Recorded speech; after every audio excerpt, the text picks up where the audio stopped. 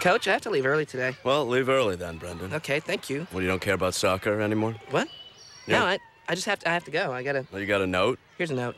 You have a written note. No, Brendon. I don't have a written note. Well, then technically it's illegal for me to let you leave. Well, then I'll, I'll bring one tomorrow. There's no big deal. I'll write one up now. All right, hold on. Please allow Brendon Small Mm-hmm. to leave immediately.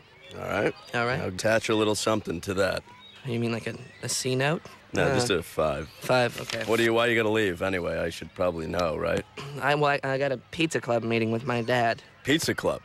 Yeah, it's a it's a club that me and my dad started because we're fond of pizza. It's a club. Yeah, yeah, Wow, that sounds so stupid. yeah. I like pizza, Brendon. Yeah, it's good. Yeah. I mean, I wouldn't go join a club. Right. But I, I mean, I love pizza. Yeah, it's awesome. The cheese. Yeah, sauce. Yeah. Are you kidding me?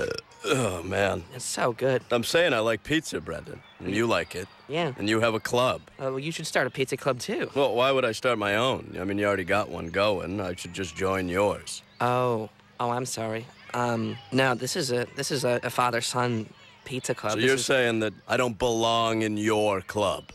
I guess You have a private club that excludes people. I, Huh? I, I guess. There's a word for that, Brendon. What? I don't know. There's definitely a word for that. Right, right. I think you better leave, Brendon. Oh, thanks.